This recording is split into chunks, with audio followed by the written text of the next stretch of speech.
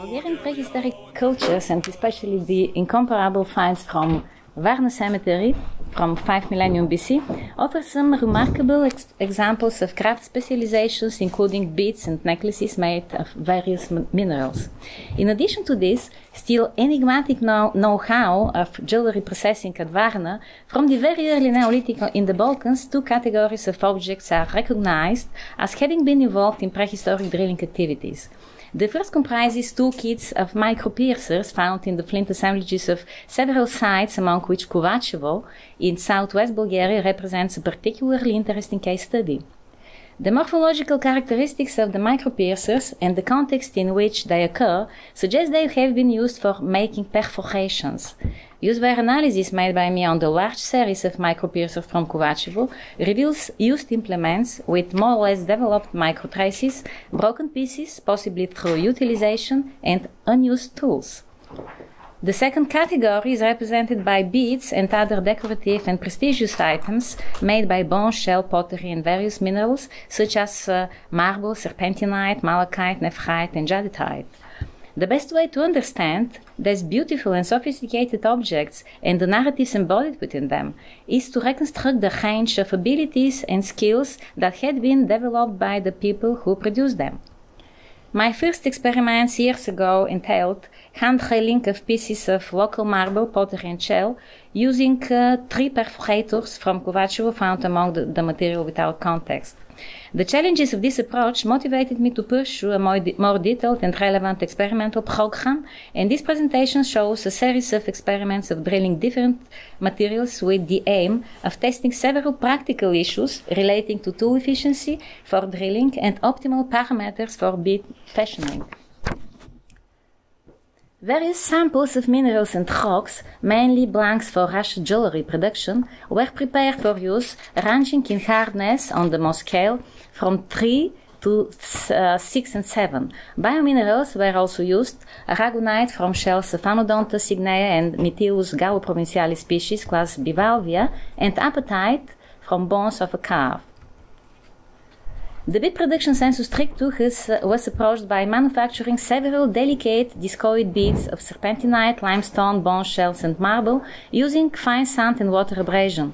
A series of microborers and small perforators were produced by Bruce Bradley and Pedro Cura and used for handle, held, manual, and mechanical drilling with a pump drill. The team involved in the experimental program has four main participants Bruce Bradley from uh, Exeter University, Clive Bonsall from Edinburgh, myself, and a colleague from our department in Sofia, Elka Anastasova. A detailed photographic record was made, and some of the most interesting uh, moments will be shown to illustrate different aspects of the processing.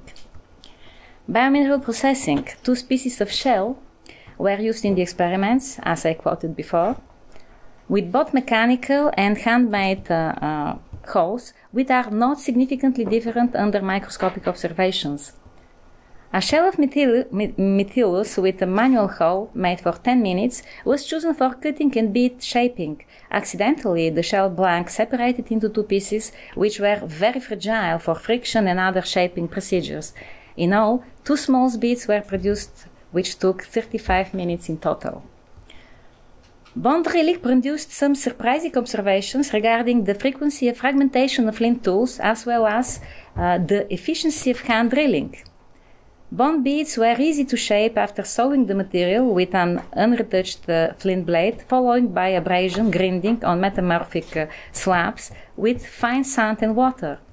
Three holes, one mechanical and two handmade, were made in 38 minutes.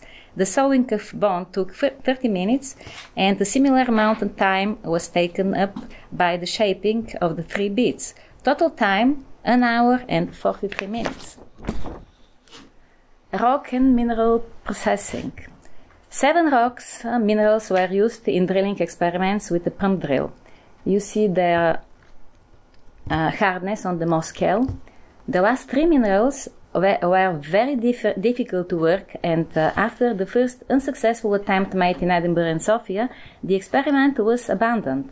But because these minerals uh, were very important for our experimental program, their working was continued in uh, 2012 in Mação, Portugal, with the energetic and creative help of Pedro Cura.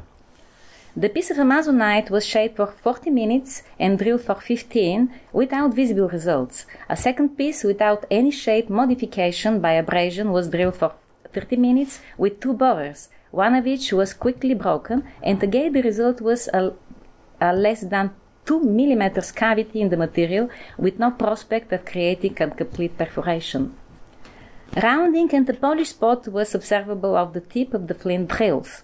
The shaped piece was worked further in Mação for 50 minutes mechanical drilling on the face previously worked and an hour drilling on the opposite side to create a bipolar hole. Finally, the piece broke into two pieces after two hours drilling, thus the intention to use it as bead file. Quite instructive was an experiment with a button-like piece, jewelry blank of lazurite, which was made thinner by sand and water abrasion, but 20 minutes drilling produced almost no visible cavity in the material. The next stage of drilling this piece in Mação consisted in 62 minutes mechanical drilling on the same site with water and sand additives. More almost two hours work on the opposite side finally resulted in a bipolar hole. A further five manual uh, five minutes manual drilling was needed to enlarge the hole with a new borer because the tip of the original borer used in the pump drills was already too rounded and inefficient. Thus, this 3 millimeters thick piece of lazurite was perforated for 3 hours and 22 minutes in total without any subsequent fashioning to arrive as a finished product. A particular challenge was posed by restarting work on a piece of tremolite or nephrite after the initial attempt to drill this material in Sofia uh, had failed. The new attempt took place in Mação and was performed by Pedro Cura, in all, he made, used, and resharpened five borers during the drilling operation. Flint borers broken systematically with different resistance from 15 to 43 minutes. Finally, after 2 hour and 40 minute energetic mechanical drilling, an incipient hole, cavity 2 millimeters deep, had been made with no prospect of completing the work, necessitating a rethink of the drilling strategy. This experiment will be continued in, at a later date until some promising uh, results are achieved. Malachite processing consisted of a very nice bipolar hole made by Bruce Bradley for only 10 minutes. Noticeable rounding of the piercer uh, was produced with many mineral residues on the flint tool and many microchips of flint in the hole. No subsequent alteration was made of this malachite piece. The experiment on it will be continued as well.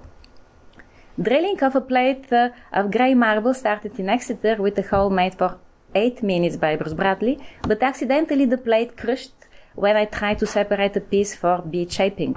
Subsequently, a small button-like blank was produced in 5 minutes with drilling taking 12 minutes, thus the bead was made in only 17 minutes.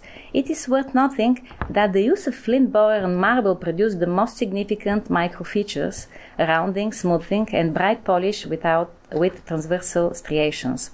A series of six limestone beads manufactured starting uh, with cutting limestone for 35 minutes to produce six rectangular pieces, which were subjected to abrasion with sand and water, resulting in six circular blanks after another 35 minutes. Every bead was drilled in about, for about three minutes, and together all six beads consumed one an hour and a half on working time. The most successful of the experiment uh, in bead manufacturing was the work of serpentinite, a beautiful and relatively easy to work greenish mineral. The chaîne operatoire started with the use of a nice plate for which, in which four um, holes were made in 30 minutes with noticeable rounding and smoothing of the flint borer.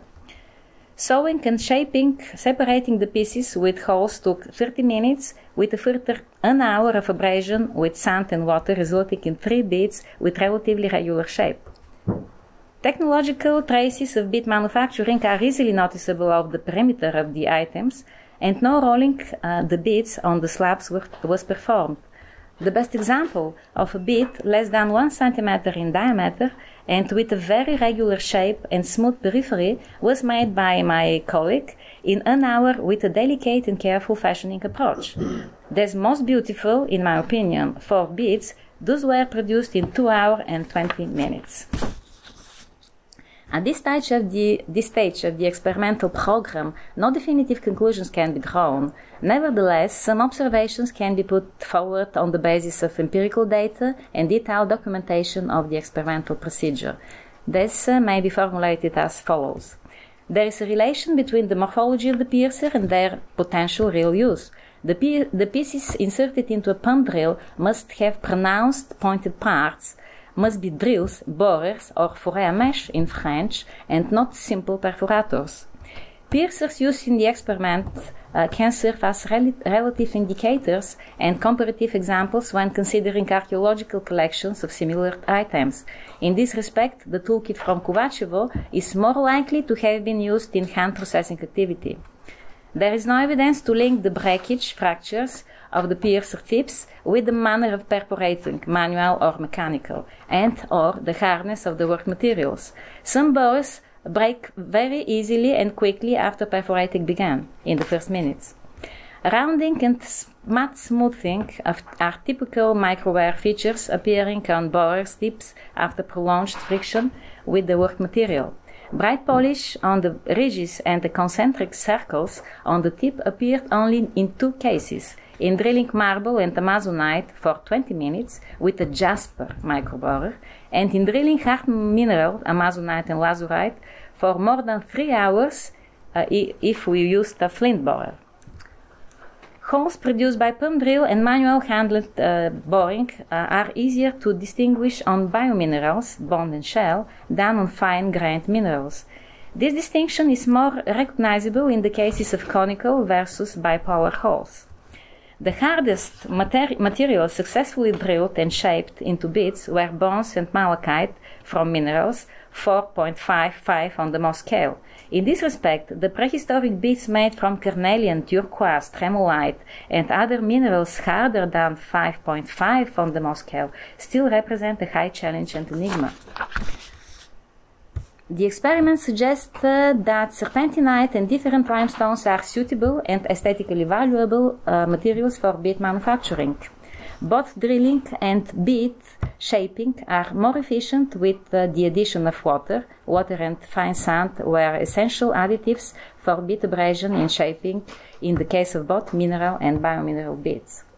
At the very end, I have to show again the amazing necklace from early Neolithic site of Galabnik, which manufacturing is equally astonishing and motivating us to use continually, uh, us to continue this challenging experimentation. And the length of this necklace is more than 8 meters.